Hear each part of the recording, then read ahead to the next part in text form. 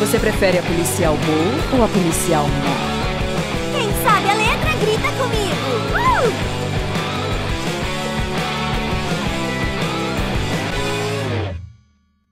Uh! Opa, eu sou o GridVR e esse plano de fundo que vocês estão vendo no meu computador não é de sacanagem.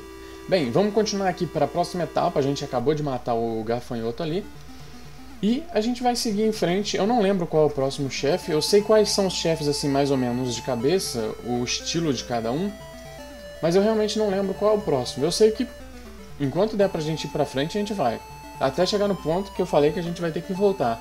A saga de voltar e depois revol... revol... e voltar é a mais chata. Mas a gente nem chegou ainda na parte que, que, que divide, sabe? Pra cá, eu acho que a gente pega mais uma ou duas armas. Ali eu sei que tem uma. E aqui tem um bicho no caminho. Eu vou salvar pelo seguinte, às vezes ele fica no corredor. E é uma merda quando ele fica no corredor. Aí, ó, tá vendo? O problema de ter pouco equipamento é isso. E aqui, eu vou salvar de novo pelo seguinte. Esses negócios não são estátuas, eles são monstros. E eles vão começar a mexer exatamente no momento que eu pegar esse negócio aqui. Vamos equipar aqui o shield. Já é uma defesa a mais e pelo menos eu paro de ser massacrado por esses bichos aí. Agora eu não lembro se eu tenho que ir pra cima ou é pra cá. Eu sei que pra cá é caminho. Mas eu não lembro se pra cima tem mais caminhos. Vamos ver aqui, porque eu acho que aqui... Eu achei que ali fosse o... Eu chamo de... Corredor de Ventos Uivantes. É um lugar onde toca uma música ensurdecedora, entre aspas, né? Isso na percepção do, do nosso personagem principal ali. E aí você tem que passar o corredor lá correndo, como é um corredor. E eu vou agradecer então, essa aqui é muito minha amiga, joga comigo sempre, vocês devem conhecer. É a Roberta Egipto, ao X-Dragon The Master X, ao Washington Souza. Esse aqui, porra, Washington Souza, a gente já sabe. Pelo nome, rapaz. Pelo nome, não sei. Não sei. Mas parece que sua mãe te sacaneou, rapaz. Washington Aqui no Brasil, Washington. Complicado. complicado. Mas enfim, não vou ficar zoando o nome do cara. Até porque tem mais caminhos pra cá e eu quero percorrer tudo. Aqui eu acho que tem um baú, em algum lugar desse lugar aqui. Eu lembro daquele bichinho vermelho. Aqui tem um baú e eu não lembro se já é as novas armas ou se eu termino de pegar a armadura de prata. Eu gostaria de não ter que ficar precisando enfrentar esse bicho. Mas em corredor é meio zoado, em corredor é complicado. Eu não vim daqui. Aqui é um outro caminho, correto? Mas será que aqui é continuidade ou volta? Porque eu acho que aqui tem dois. Ai, caramba! Ali é o Morro dos Ventos Uivantes que eu falo, o Corredor dos Ventos Uivantes. Ali, dali pra frente, é, eu vou precisar usar a poção. Mas eu, tenho, eu preciso ter certeza que eu resolvi tudo aqui antes. É claro que eu não vou voltar a andar por andar, que ia dar um trabalho do caramba, e eu não tô afim. Eu vim da direita aqui, correto? Se eu vim da direita, e ali para baixo já é o segmento do corredor dos ventos vivantes, eu acho que pra cá... Pra cá tem mais coisas. Eu não lembro o que que é. Mas a gente ainda vai descobrir.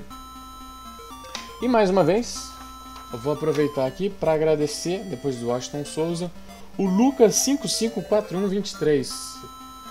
Eu não sei, mas parece que ele está querendo que o pessoal ligue para ele. E enquanto o Life recupera ali, eu vou agradecer também ao Rendor.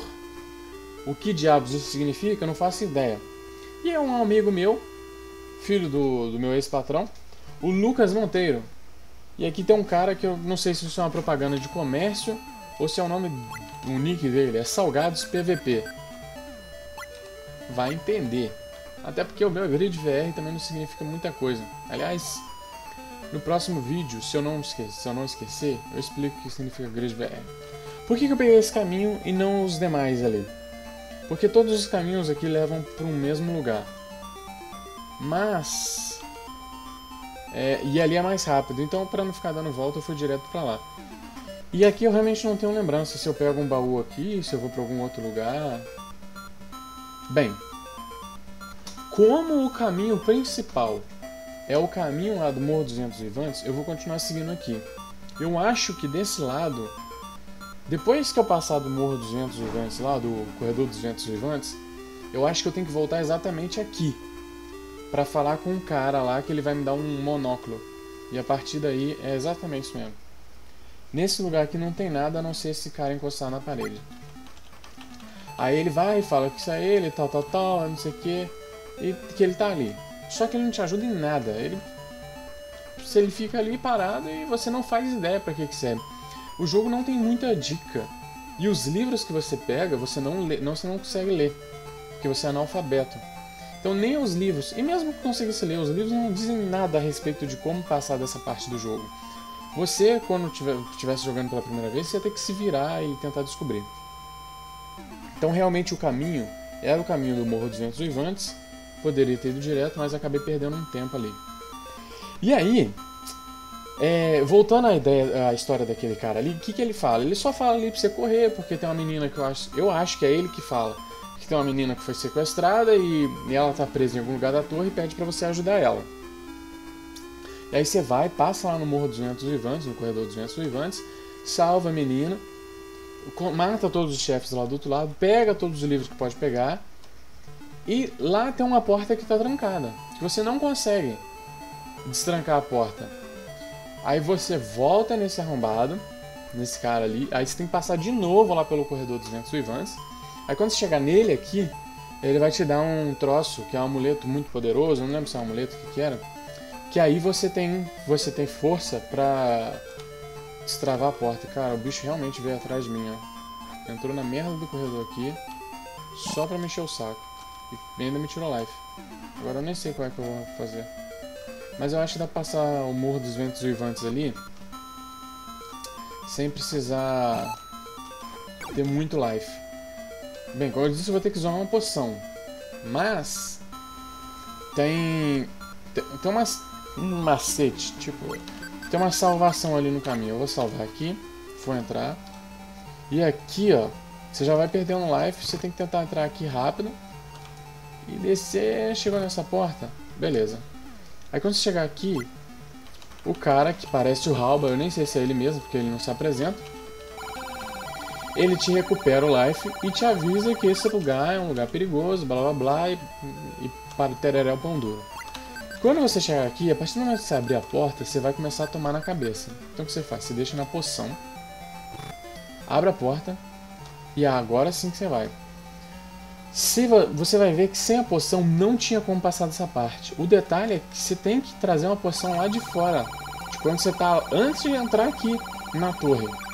Então o total é uma poção que você tem que trazer de lá para usar aqui nessa parte. E a partir depois que você atravessou essa parte, você tem que pegar uma outra poção e, e por aí vai. E é por isso, cara, e é por isso que eu deixei uma poção lá no início. Que eu falei assim, aqui tem uma poção, mas eu não vou abrir. Porque eu não posso usá-la agora. Cara, como é que eu, sei lá, como é que uma criança de 8 anos, 9 anos, sei lá, descobriu, provavelmente por tentativa e erro, que ele tem que fazer isso, sabe? Vamos esperar aqui pra encher nosso live aqui.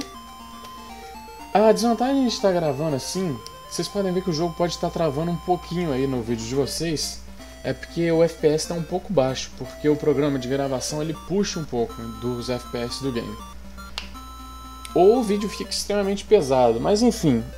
Ah, é um preço a se pagar, né?